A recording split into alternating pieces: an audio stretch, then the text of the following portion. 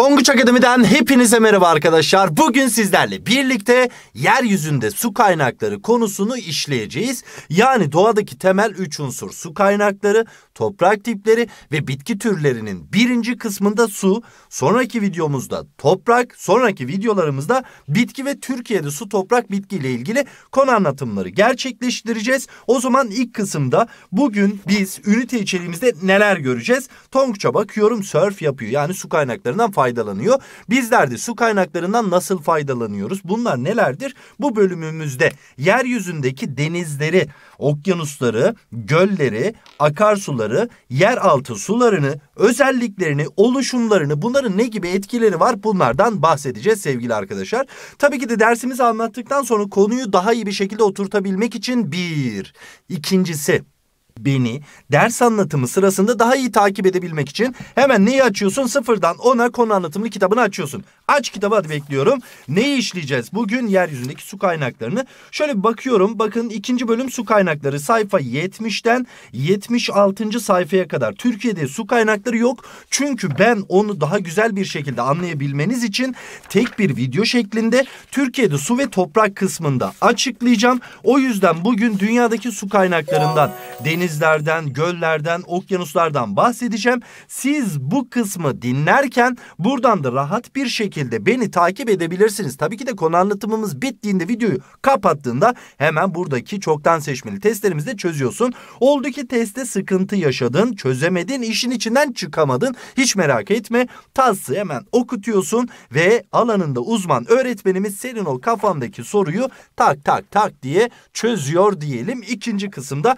tabii ki de konumuz bitti. Konuyu dört dörtlük oturtabilmemiz için Dinamo Soru Bankası'ndan da sorularımızı çözmeyi unutma. Hadi bakalım aç Dinamo Soru Bankası kitabını. Su kaynakları aman unutma Türkiye'deki kısımlar değil dünyadaki kısımlar 64, 65. 66. sayfalar. Hemen ben şöyle sizin için 64. sayfayı açıyorum. Örnek model bir soru çözümümüz var. Akabinde çoktan seçmeli testlerimiz var. Bu testleri de güzel güzel çözüyorsun. Hata yaptığında hemen kare kodu okutarak kafandaki o soru kısmını da gidermiş oluyorsun diyelim. O zaman ne bekliyoruz? Hadi bakalım başlayalım. Şimdi geldik yeryüzünde su kaynakları. Tabii ki de dünya yüzeyinin çok büyük bir kısmını su kaynakları oluşturmakta. Ne kadarlık kısmını dersek yüzde yetmiş birlik kısmı sularla kaplıdır. Peki bu yeryüzündeki suların tamamını oluşturan küre nedir dersek hop buradan aldık 9. sınıfa gittik. Burada biz doğadaki dört temel unsurdan bahsetmiştik. Yani muhteşem dörtlü litosfer, hidrosfer, atmosfer ve biyosferdi. Bunlar dört tane küreyi ifade ediyordu. Peki su küreyi kim ifade ifade eder dersek hidrosfer ifade edecektir. Sifer dediğimiz kısım küre, hidro dediğimiz kısım su birleşiminden ortaya çıkmıştır. Ve bu hidrosferi fiziki coğrafya gene 9'a gidiyoruz. Coğrafyanın alt dalları fiziki coğrafya, beşir ve ekonomik coğrafyaydı. Hatırlayın burada fiziki coğrafyanın bir alt dalı olan sular coğrafyası yani diğer ismiyle hidrografya sevgili arkadaşlar. Hidro neydi? Gene suydu. Hidrografya sular coğrafyası olarak karşımıza çıkmakta ve burası inceliyor. Peki yeryüzündeki su kaynakları nelerdir dersek okyanuslar çok geniş alanlardaki tuzlu su kütleleri bunun hemen kenarında ya da bir boğaz kanal vasıtasıyla bağlanmış olan denizlerden bahsedeceğiz. Sonraki kısımda göller diyeceğiz ve birçok gölden bahsedeceğiz. Buzullar, akarsular, yeraltı suları bizim yeryüzeyindeki su kaynaklarımızı oluşturmakta ki su kaynakları bizim için çok çok önemli. Yani burada bir döngüden bahsetmemiz lazım. Su döngüsü nokta not, nokta attık iki tane kavramımız var burada. Yani iki kelimemiz var. Suyun bakın dikkat sıvı katı ve gaz halde yeryüzü ile gökyüzü arasında yani atmosfer arasında sürekli yer değiştirmesine su döngüsü ya da bunun diğer ismi nedir dersek ben şuraya yazıyorum. Hidrosuydu değil mi? O zaman hidrolojik döngü dersek su döngüsünü ne yapmış oluruz? Tamamlamış oluruz. O zaman buradaki kısmı da şöyle hidrolojik olarak düzenleyebiliriz. Peki bu döngü bizim için çok çok önemli dedik. Bu döngü nasıl gerçekleşiyor dersek şimdi sevgili arkadaşlar yeryüzündeki sular evet döngü halinde diyoruz ve suların bir kısmı güneşten gelen enerji sonucunda oluşan buharlaşma. Bakın buralara buharlaşma yazmışız. O zaman buharlaşmayla sıvı haldeki su kütlesi su buharı olarak atmosfere karışıyor mu? Karışıyor. Yeter mi? Yetmez. Bitkiler terleme yaptığında gene atmosfere su buharı karıştırıyor. Biz insanlar solunum yaptığımızda gene atmosfere su buharı karıştırıyoruz. Yani burada ne oldu? Aslında sıvı olan bir kütle gaz haline geçti mi? Yükseklere doğru çıkıldıkça sıcaklığın genel itibariyle her 200 metrede bir derece azalmasına bağlı olarak yoğunlaşma meydana gelir. Yoğuşma ürünleri bulutlardır sevgili arkadaşlar. Eğer ki bu bulutlarda bağıl nem yüzde yüzü geçerse ne olacaktır? Yağış olarak yer yüzeyine düşecektir. Nasıl düşer yağış dersek dolu olabilir.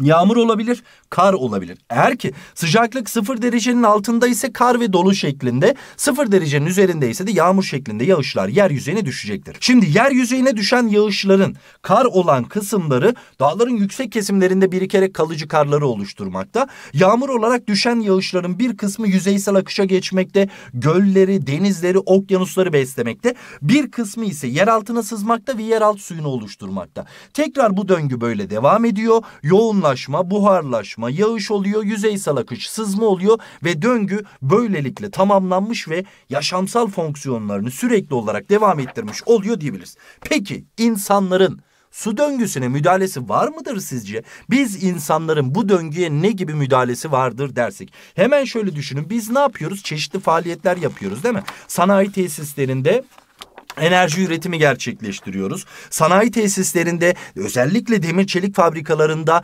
demiri çeliğe dönüştürüyoruz. Yeraltı suyunu kullanıyoruz tarımda, içmede birçok alanda suyu kullandığımız için su döngüsü bozuluyor ve bu bitki örtüsünün tahrip edilmesiyle birlikte de toprağa süzülmeler azalmakta. Neden derseniz şundan dolayı.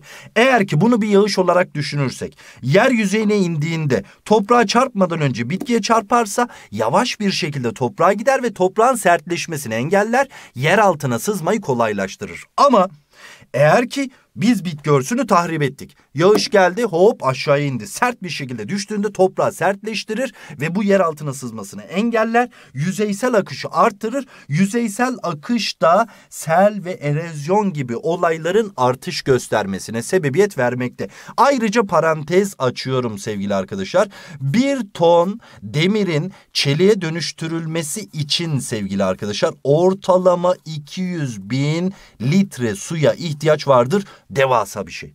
Termik santrallerde elektrik enerjisi üretebilmek için de gene su kaynağına ihtiyacımız vardır. Bu da su döngüsüne müdahale etmemize, su döngüsünün sorunlar yaşamasına, ileriki süreçlerde de çok büyük sıkıntıları yol açmasına sebebiyet verecektir. O yüzden su bizim için çok çok önemli. Dünyadaki su kaynaklarının dağılımına baktığımızda ilk kısımda da söylemiştik bunu. Dünya yüzeyinde yüzde yetmiş birlik kısmını su kütleleri oluşturmakta, yüzde yirmi dokuzluk kısmını ise kara kütleleri oluşturmaktadır diyebiliriz. Peki bu su kütlelerini parçalarsak kimyasal açıdan bir yüzde doksan yedi virgül beşlik kısmını tuzlu su kütleleri oluşturmakta. Yüzde iki virgül beşlik kısmını tatlı su kütleleri oluşturmakta. Biz peki şu sağ tarafta neyi ifade edeceğiz dersek hemen ben şurayı şöyle çiziyorum. Yüzde iki buçukluk kısmı açıyorum. Bakın dikkat edin. Yüzde doksan yedi virgül beşlik kısmı değil. Yani şurada şu kadar az bir kısmı açıyorum. Tatlı su kütleleri. Burayı da çok büyük bir kısmını yüzde altmış sekiz virgül dokuzluk kısmını buzullar ve kalıcı kar tabakaları yani kutup alanlarında görmüş olduğun buz kütleleri kütleleri ile dağların yüksek kesimlerinde görmüş olduğun kalıcı kar tabakaları oluşturmakta. Yüzde 68,9 dedik. Yüzde 30,8'lik kısmını ise yeraltı suları, toprak nemi, bataklıklar, donmuş topraklar oluşturmakta. Yüzde 0,3 yani binde üçlük kısmını ise yüzeydeki tatlı sular, göller ve nehirler oluşturmaktadır diyebiliriz. O zaman benim buradan anlayabildiğim kısım tatlı su rezervlerim çok az. Ben o yüzden bu kaynakları bilinçli bir şekilde kullanmak zorundayım. Neden dersek çünkü insanların tatlı su kaynaklarına erişimi her yerde aynı değil. Şöyle bir haritama baktığımda haritada farklı renk tonları görebilmekteyim ve aşağıdaki lejant kısmında şunu söylemiş bana. Kişi başına düşen yıllık tatlı su kaynaklarına erişimi yani metreküp olarak yıllık ne kadar su kullandıklarını ifade ediyor. Ve diyor ki bak su fakirliği, su azlığı, su zenginliği yaşayan ülkeler var. Demiş ki su fakirliği yılda kişi başına düşen kullanılabilir su miktarı bin metreküpten azdır. Hemen lejant kısmına geliyorum. Şu görmüş olduğun kiremit rengi turuncu da değil biraz daha koyu kısmı ile kırmızımsı renk su fakirliği yaşayan ülkeler. Mesela burada Cezayir, Tunus, Libya'yı görebilmekteyim. Bunlar su fakirliği yaşayan ülkeler. Suudi Arabistan, Umman, Yemen gibi ülkeler gene su fakirliği yaşayan ülkeler olarak karşımıza çıkmakta. Peki su azlığı yaşayan ülkelere bakalım. Yılda kişi başına düşen kullanılabilir su miktarının 2000 metreküpten daha az olmasıdır diyor. Hemen şöyle 2000 metreküpe bakıyorum. Şuradaki turuncu renk tonu. Mesela Hindistan, Güney Afrika Cumhuriyeti, Somali'yi görebilmekteyim. Bunlar sevgili arkadaşlar su azlığı yaşayan ülkeler olarak karşıma çıkmakta. Su zenginliği ne kadar güzel bir şey değil mi? Yılda kişi başına düşen kullanılabilir su miktarının 8000 metreküpten daha fazla olmasıdır diyor. Peki bakalım 8000 metreküp mavinin koyu tonları. Mesela burada Şili'yi görebilmekteyim değil mi? Onun dışında mesela Kanada'yı görebilmekteyim. Norveç'i görebilmekteyim. Bunlar da su zenginliğine sahip olan ülkelerdir diyoruz. O yüzden su kaynakları bizim için çok çok önemli. Peki yarım kürelere göre su kaynaklarının dağılımına baktığımız zaman dünya yüzeyinin evet biraz önce söyledik yüzde 71'lik kısmını su kütleleri oluşturmakta. Ama yarım kürelere göre dağılışları birbirinden farklıdır. Kuzey yarım kürenin yüzde %61'lik kısmı bakın dikkat edin yüzde 61'lik kısmı güney yarım kürenin ise yüzde 81'lik kısmı sularla kaplıdır. Bu durum peki neye sebep olmakta? Sıcaklık dağılışı üzerinde etkiye sahiptir. Bunun dışında birçok noktada da etkilidir diyebiliriz. Özellikle mesela su kütlelerinde, kara deniz alanlarında, okyanus akıntıları, kıyı kesimlerde bazı noktalarda iklimlerin oluşmasında bile önemli etkiye sahiptir diyoruz sevgili arkadaşlar. Ama şunu unutmayalım iki yarım kürede de su kaynaklarının oranı karalara göre daha fazla. Şunu da unutma, kuzey yarım küredeki karaların oranı güney yarım küredeki karaların oranından daha fazladır diyebiliriz. Şimdi geldik tabii ki de bu su kütlelerini parçalamaya. Birincisi okyanus ve denizler. Eğer ki sevgili arkadaşlarım bizim jeosenklinal dediğimiz bir kavram var. Yani geniş çukur alanlara verdiğimiz isimdir. Kıtalar arasındaki bu büyük çukurlar yani jeosenklinalleri dolduran su kütlelerine okyanus diyeceğiz. Ve bizim önemli olarak bilmemiz gereken üç tane okyanus var. Bunlardan birincisi yüz ölçümü en fazla olan okyanus Büyük Okyanus ya da diğer ismiyle Pasifik Okyanus'tur. 180 milyon kilometre karelik alanıyla dünyanın en büyük okyanusu ünvanına sahiptir diyebiliriz. Nere arasında yer alıyor? Asya kıtası, Avustralya, Kuzey ve Güney Amerika kıtaları arasında yer alan kısım Büyük Okyanus'tur. Atlas Okyanusu diğer ismiyle Atlantik Okyanus'tur. 106 milyon kilometre karelik alanıyla dünyanın ikinci büyük okyanusudur. Afrika, Avrupa, Kuzey, Güney Amerika arasında yer alan kısımdadır. Hint Okyanusu'na geldiğimiz zaman ise 75 milyon kilometre karelik alanı ile Afrika, Asya'nın güneyi, Avustralya'nın batı kısmında yer alan üçüncü büyük okyanustur diyebiliriz. Kuzeyde Arktik Okyanusu, güneyde de Güney Okyanusu yer almaktadır. Bilgimiz olsun sevgili arkadaşlar. Peki deniz bunun neresinde? Deniz okyanusların ya kıyısında yer alacak ya da bir boğaz ya da kanal vasıtasıyla okyanusa bağlanacak. Yani bir yerin deniz olabilmesi için okyanusla iyi kötü bağlantısının olması lazım. Kenar deniz diyorsa kenar deniz kıtanın kenarında yer alacaktır. Okyanuslardan eşikle ayrılacak. Okyanuslar kadar derin olmayacaktır sevgili arkadaşlar. Çin denizi, Japon denizi, Kuzey denizi bunlara örnek verilebilir. İç deniz dediğimiz zaman okyanuslara, boğaz ya da kanallarla bağlantısı olan denizlere verdiğimiz isimdir. Akdeniz Akdeniz, Karadeniz, Kızıldenizi ve Baltık Denizi de iç deniz olarak karşımıza çıkmakta. Hemen şöyle haritama bakıyorum mesela. Biz burada ne demiştik? Japon Denizi, Çin Denizi, Kuzey Denizi demiştik değil mi? Mesela şurada Japon Denizi'ni görebilmekteyim. Bak Büyük Okyanus'un hemen kenarında. Bering Denizi kenarında, Barents Denizi kenarında, Umman Denizi kenarında. Bunlar kenar denizdir. Ama Kızıl Deniz, Akdeniz, Karadeniz, Baltık Denizi bir boğaz ya da kanalla okyanusa bağlantısı olduğu için bunlar da iç deniz olarak karşımıza çıkmaktadır sevgili arkadaşlar. Okyanusları böyle geçtikten sonra denizlerle birlikte geldik göllere. Karalar üzerinde çukur alanlarda birikmiş durgun su kütleleridir. Yani bir gölün olabilmesi için de bir çanağa sahip olması lazım ve unutmayalım göller yeryüzündeki tatlı suların yüzde 87'lik kısmını oluştururken karalar üzerinde kapladığı alan ise yüzde 2'lik kısma sahiptir. Şimdi buradaki temel mantığımız şu. Enlerimiz, piklerimiz var. Dünyanın en büyük gölü. Sen hep bunu ne olarak bildin ya da öğrendin? Hazar Denizi olarak öğrendin. Ama artık o yanlışları düzeltme vakti geldi. Ne dedik biz biraz önce deniz için? Okyanusa bağlantısının olması gerekmekte değil mi? Ama buraya baktığım zaman Hazar Denizi'nin size göre denizdi ya okyanusla bir bağlantısı var mı? Yok. O zaman burası göldür. Neden buraya bir deniz diyoruz? Çünkü çok büyük ya. 424 bin kilometre kare yüz ölçüme sahipmiş. O zaman size ödev yorumlar kısmına da bekliyorum. Hazar Gölü Marmara Denizi'nden kaç kat daha büyük? Hadi bakalım bir hesaplayın. Yorumları cevapları bekliyorum sevgili arkadaşlar. İkinci enimiz dünyanın en derin gölü Baykal Gölü'dür. 1740 metre yüksekliğe sahiptir. Dünyanın en yüksekte yer alan gölü Peru, Bolivya sınırı içerisinde yer alan Titicaca Gölü'dür sevgili arkadaşlar. Ekvatora yakın olduğu için tekrar belirtmek istiyorum. Burada yerleşme sınırı yüksekti. Ondan dolayı da burası yüksekte yer alan bir alandır. Peki bir gölün sularına baktığım zaman bu gölün suları tatlı olabilir, tuzlu olabilir, acı olabilir ya da sodalı olabilir. Peki bunun böyle olmasındaki önemli etkiler nelerdir dediğimizde bir, gölün kimyasal özellikleri etkilidir. Gölü besleyen akarsuların kimyasal özellikleri özellikleri yani o suyun kimyası etkilidir. İklim özellikleri etkilidir. İklimin nemli ya da kurak olması etkilidir. Önemli unsurlardan bir tanesi. Göl çanağını oluşturan kayaçların özellikleri etkilidir sevgili arkadaşlar. Ama Bunlar dışında bilmem gereken en önemli ifadelerden bir tanesi de şudur. Gölün gideninin olup olmamasıdır. Nasıl? Mesela burada bir göl alanımız var. Güzel bir şekilde görebilmekteyiz. Şimdi burada gölü besleyen iki tane alanımız var. Gölü besleyen kaynaklar ve gölden fazla suyu boşaltan şurada da bir giderimiz var. Yani gideğenimiz var. Eğer ki bir göl böyle gideğene sahipse bu gölün suları kesinlikle tatlıdır. Yani tuzlu, acı ya da sodalı değildir. Gideğen çok çok önemlidir unutmayalım. Peki biz dedik ki karalardaki meydana gelen çukurluklarda biriken durgun su kütlelerine göller diyoruz. Peki bir gölün oluşmasını sağlayan temel durum nedir dediğimizde aslında şunu söylemek istiyoruz. O çukurluğu oluşturan temel durum nedir? Bir, doğal olabilir insanlar yapmış olabilir. Yapaydır ki burada göletler ve barajlar var. Doğal kısımda neler vardır dediğimizde tektonik göller, tektonik hareketlerle oluşuyor.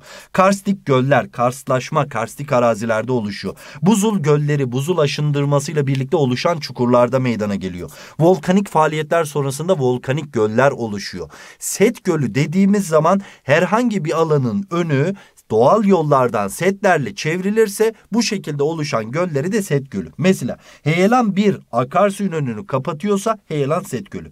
Dalga ya da akıntılar kıyı okları koy ya da körfezin önünü kapatıyorsa kıyı set gölü. Eğer ki bir volkanik faaliyetler sonrasında çıkan lav kütlesi bir akarsuyun önünü kapatıyorsa lav set gölü. Eğer ki akarsuyun aşındırıp taşıyıp biriktirdiği malzemeler başka bir akarsu ağını kapatıyorsa alüvyon set gölü. Buzul aşınımı sırasında meydana gelen morenler bir yerin önünü kapatıyorsa buzul set gölü ya da moren set gölü olarak ifade edebiliriz. Şimdi arkadaşlar bizim burada yapmamız gereken işlem bunların hepsini parçalamak. Birincisi tektonik göller. Tektonik göl nedir dediğimizde şunu bilmemiz gerekiyor. Tektonik hareketlerle oluşan çukurluklar vardır. Yani dağ oluşum hareketleri sırasında özellikle tektonik kavramını duyduğumuz zaman iç kuvvetlerin etkili olduğunu bileceğiz tamam mı? Dağ oluşumu hareketleri sırasında kırılarak çöken çanaklar kenarda bak burasında dağ oluşumu sıkıştı, çatladı böyle bir çöktü. Burada bir çukurluk oluştu. Eğer ki bu çukurluğu dolduran bir su kütlesi varsa biz burada oluşan göle tektonik göl diyeceğiz. Ve unutma dünya yüzeyinde yer alan büyük göllerin neredeyse tamamına yakını tektonik kökenli göldür. Nerede var? Hemen şöyle ben Asya'dakilerden bahsetmek istiyorum. Hazar Gölü dünyanın en neydi? Büyük gölüydü değil mi? Baykal Gölü enlerdendi. Balkaş Gölü, Aral Gölü, Lut Gölü Mesela Aral Gölü yanlış kullanım, yanlış faaliyetler neticesinde yüz ölçümü son 30 yıllık süreçte çok çok küçülmüş göllerden bir tanesidir. Bak gördün mü insanın su döngüsüne nasıl müdahalesi var. Sen baraj yapıyorsun, sen tarımsal faaliyetlerde bu bunu besleyen akarsuları ne yapıyorsun, kullanıyorsun. Şurada demiştik ya gölü besleyen kaynaklar. E sen bunları kullanırsan e buraya su gelmeyecektir. O zaman burada kurur gider. Bu ekonomik anlamda, sosyal anlamda birçok sorunlara da sebebiyet vermiştir. Afrika kıtasında da var sevgili arkadaşlar. Afrika kıtasında Tanganyika Gölü, Malawi Gölü, Çat Gölü ve Victoria Gölü. Amerika kıtasında Huron Gölü, Michigan Gölleri tektonik kökenli göllere örnektir diyebiliriz. Özellikle Afrika'nın doğusunda birbirinden uzaklaşan iki tane kıtasal levhanın bulunduğu bu hatta tektonik kökenli gölleri görmek çok olası bir durumdur diyebiliriz. Karstik göl dediğimiz zaman bak ne demiştik? Biz dış kuvvetler içerisinde karstik ifadesinde kalker yani diğer ismiyle neydi bu? Kireç taşıydı değil mi? Jips diğer ismiyle neydi? Tabii ki de kaya tuzuydu. Bir de burada ne vardı sevgili arkadaşlar? Jips alçı taşıydı. Bir de kaya tuzunu şöyle ifade edelim sevgili arkadaşlar. Orayı da düzeltmiş olalım. Eğer ki bunlar varsa bir arazide bunlar suyla tepkimeye girdiğinde eriyen malzemelerdir. Eridiğinde burada bir çukurluk oluşur. Genellikle polye ve uvala gibi büyük çukurluklar vardır. Bunlar sularla dolarsa oluşan göle de karstik göl diyeceğiz tamam mı? Bu gölleri dünyada nerede görüyoruz dersek İşkotra Gölü'nde görüyoruz. Prespa Gölü'nde görüyoruz sevgili arkadaşlar. Bunlar genel itibariyle karstik göl olarak karşımıza çıkmakta. Bak ne diyor burada? Yer altında bir mağara var. Mağaranın tavan kısmı çökerse obruk meydana gelir ve eğer obruklar yeraltı suyu seviyesine ulaşıyorsa burada da göl meydana gelir. Bunlara da obruk gölü olarak ifade edeceğiz. Haberiniz olsun.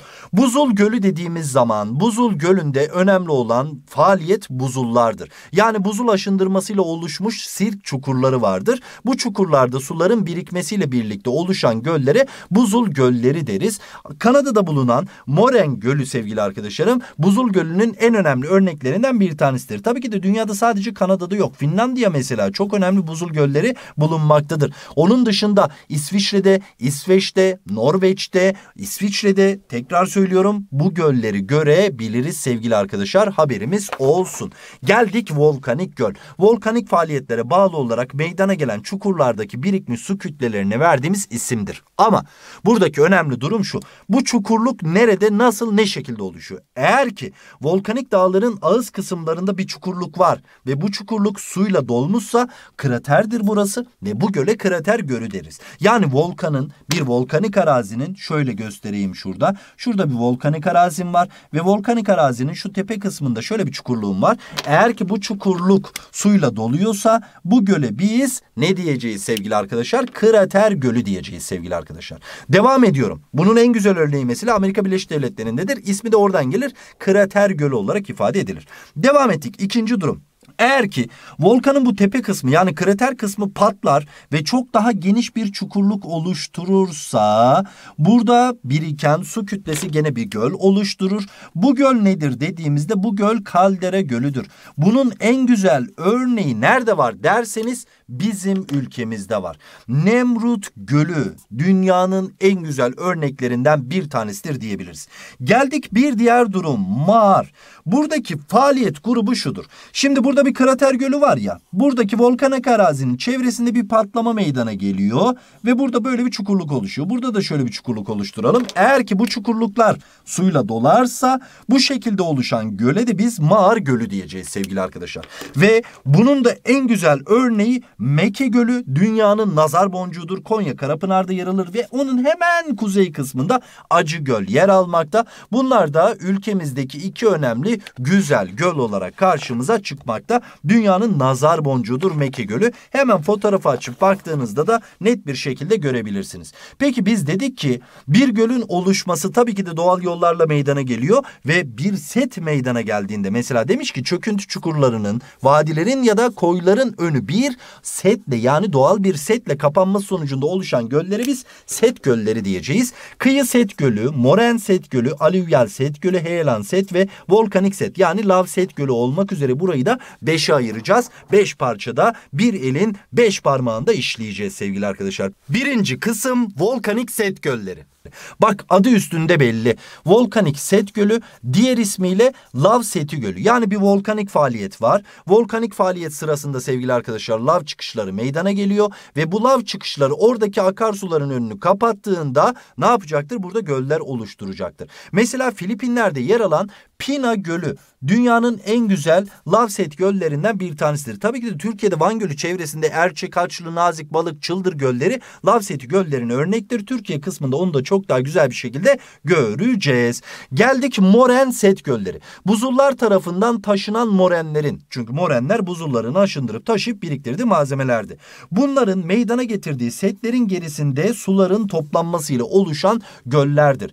Nerede var dersek Nepal'de var sevgili arkadaşlar. Tilikko Gölü. Nepal'de yer alan Tilikko Gölü Moren Seti Gölü olarak karşımıza çıkmakta. Alüvyal Seti Gölü dediğimiz zaman bak dikkat alüvyal akarsuların taşıdığı alüvyonlarla akarsu yatağı, koy veya körfezin önünün kapanma sonucunda oluşan göllerdir diyebiliriz. Bizim ülkemizde Aydın Muğla sınırları içerisinde yer alan Çam içi Gölü en güzel örneklerden bir tanesidir diyebiliriz. Tabii ki de Ankara'da Mogan ve Emir Gölleri de gene alüvyal set göllerine örnektir diyebiliyoruz. Heyelan Set Gölü'ne geldiğimiz zaman e, heyelan faaliyeti sonucunda dağların yamacından kopup gelen malzemeler var. Bunlar eğer ki bir vadinin önünü kapatırsa bu şekilde oluşan göllere heyelan set gölleri diyeceğiz. Bak Pakistan'daki Attabat Gölü heyelan set gölüne örnektir. Bizim ülkemizde mesela Karadeniz'de var. Bunları da açıklayacağız sevgili arkadaşlar. Geldik kıyı set gölleri. Kıyı set gölleri diyorsa kıyıda oluşan göllerdir. Yani dalga ve akıntıların sığ kıyılara malzeme getirmesi sonucunda koy ve körfezin önünün kapanmasıyla oluşuyor. Yani nedir bu dersek mesela şurada bir koyumuz ya da körfezimiz olsun tamam mı? Şimdi dalga kıyıya doğru malzeme getirdiğinde biriktirir ve kıyı okları oluşturur. Eğer ki kıyı oku buradaki koyun önünü kapatırsa kıyı seti vazifesi görür ve burada lagün yani deniz kulağı dediğimiz kısım kıyı set göllerini oluşturmaktadır diyebiliriz. Mesela İztuzu Lagünü Türkiye'de yer alır ve en güzel örneklerinden bir tanesidir diyebiliriz sevgili arkadaşlar. Geldik yapay göllere. Burada hem barajlar vardır aynı zamanda göletler de vardır diyebiliriz. Bak ne diyor biz neden bunları yapıyoruz dersek bir elektrik enerjisi üretmek için, sulama için, içme suyu temini için, su taşkınlarını önlemek için vadi önleri insanlar tarafından çeşitli setlerle kapatılmasıyla oluşan gölleri yapay göller diyoruz. Bir de sevgili arkadaşlar şunu unutmayalım. Bu görselde görmüş olduğunuz baraj da bu arada Amerika Birleşik Devletleri'nde yer alan Hoover Barajı olarak karşımıza çıkmakta sevgili arkadaşlar. Bir de şunu unutmayalım. Bazı noktalarda karma yapılı göller vardır. Hemen şöyle şuraya karma yapılı göller diyelim. Nedir bu dersek mesela Ar Arnavutluk Makedonya sınırında bulunan Ohri Gölü var sevgili arkadaşlar. Ohri Gölü hem tektonik hem de karstik bir göl olma özelliği taşır. Tektone karstik göldür. Mesela bizim ülkemizdeki Van Gölü hem tektonik hem de volkanik göldür. Tektone volkanik göldür. Yani birden fazla faktörün etkili olduğu göl grubu olarak karşımıza çıkmaktadır. Sevgili arkadaşlar bilgimiz olsun. Geldik bir diğer kısım akarsular. Burada eriyen kar ve buzların yanı sıra yağışlarla veya kaynak suları ile beslenen bir yatak boyunca eğime bağlı olarak sürekli veya belirli bir dönem akan sulara akarsu deriz. Bak sürekli veya belirli bir dönem akan sulara akarsu deriz. Ve akarsular küçükten büyüğe doğru dere, çay, ırmak, nehir olarak ifade edilebilir sevgili arkadaşlar. Peki akarsu ile ilgili birçok kavramımız var. Nelerdir bunlar? Bir, kaynak kavramı. Nedir dersek kaynak kavramı akarsuyun doğduğu yerdir. Hemen şöyle baktığımda mesela burada akarsuyun ilk doğduğu kısımlar burasıdır. Akarsu kaynağı olarak karşımıza çıkmaktadır. İki, ağız nedir dersek akarsuyun herhangi bir yere döküldüğü kısım ağız kısmıdır. Mesela burada Ege Denizi'ne dökülmüş, burası ağız kısmıdır. Mesela buraya baktığımız zaman Aras Nehri Hazar Gölü'ne dökülmüş, ağız kısmıdır. Çoruh Nehri Karadeniz'e dökülmüş, ağız kısmıdır. Yatağa geldiğimiz zaman Kaynaktan ağıza kadar içinde aktığı çukurluk ise yatak olarak karşımıza çıkmakta. Bak buradan buraya doğru geldiği kısım yatak olarak karşımıza çıkmakta. Havza nedir dersek akarsuyun kolları ile birlikte sularını topladığı alana verdiğimiz isimdir. Bakın burada bir akarsu var evet ama bunu besleyen yan kollar da var. Bunların tamamı nedir sevgili arkadaşlar? Havzadır. Eğer ki bir akarsu sularını Çoruh Nehri'ndeki gibi denize götürüyorsa açık havza özelliği gösterir. Eğer ki Aras Nehri'ndeki gibi bir göle götürüyorsa yani deniz ya da okyanusa götüremiyorsa kapalı havza özelliği gösterir. Hazar deniz değildi. Zaten artık bunu biliyorsunuz herhalde. Su bölümü çizgisi burada çok daha güzel bir şekilde görülmekte. Burada bak birinci akarsuyum var. Şurada ise ikinci akarsuyum var değil mi? Bak bu iki akarsuyu birbirinden ayıran şurada bir sınırımız var. İşte bu sınır su bölümü çizgisi olarak karşımıza çıkar ve genel itibariyle arazilerde sırtlardan geçer su bölümü çizgisi haberimiz olsun sevgili arkadaşlar.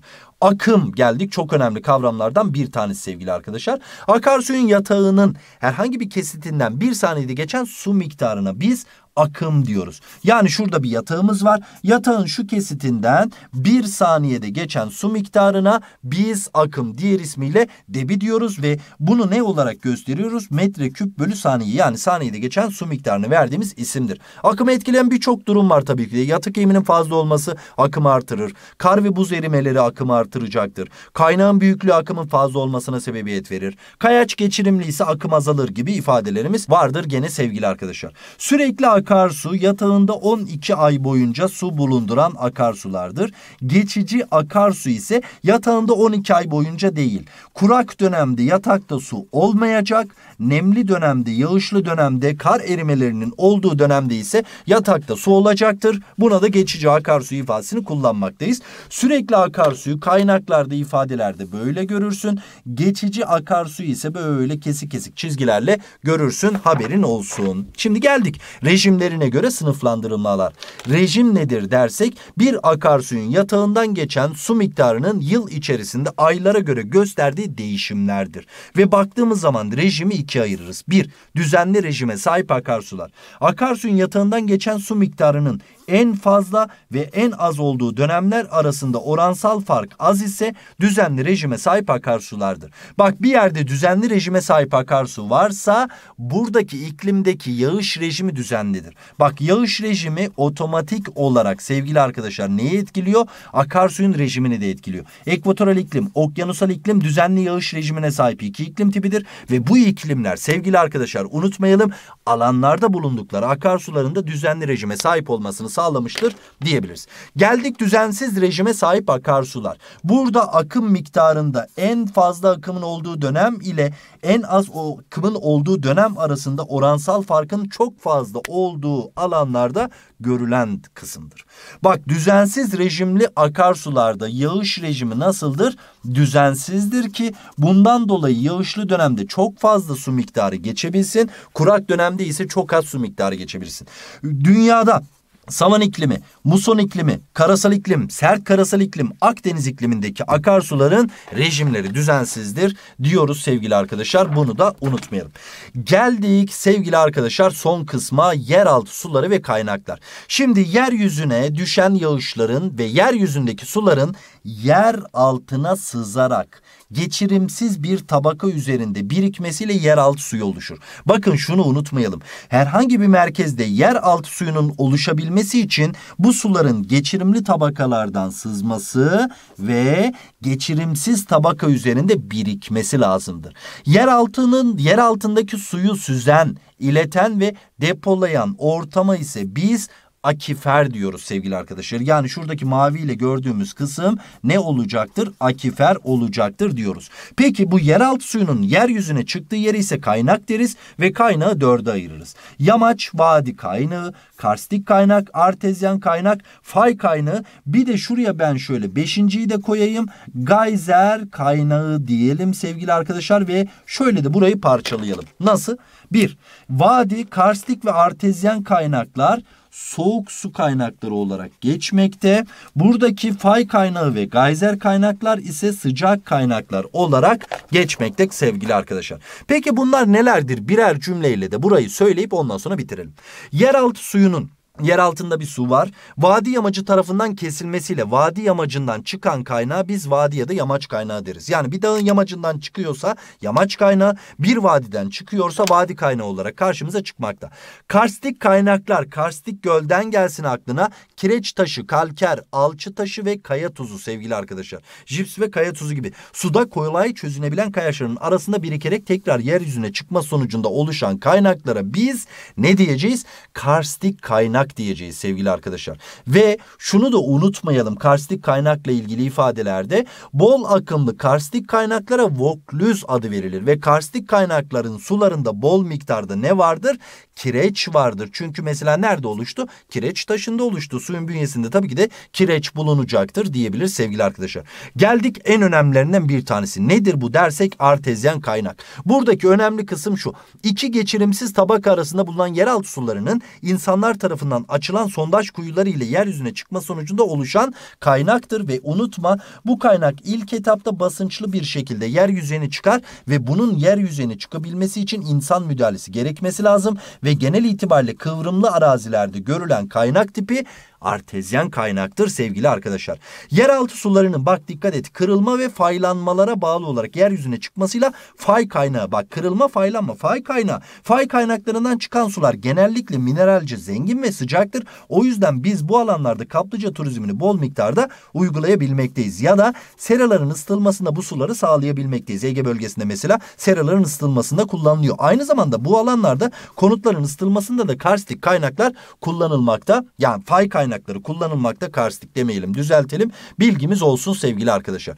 Geldik son kaynağımız aktif volkanik sahalarda görülen kaynaklardır. Buradaki sular belirli dönemlerde buhar şeklinde fışkırır ve bu şekilde oluşan kaynaklara gayzer kaynak deriz. Ve Türkiye'de gayzer kaynaklarını rastlayamayız. Aktif volkanik alanlarda bu kaynaklara rastlayabilmekteyiz. Amerika Birleşik Devletleri, İzlanda, Japonya ve Yeni Zelanda gibi ülkelerde bu kaynakları yaygın olarak görebilmekteyiz sevgili arkadaşlar haberiniz olsun.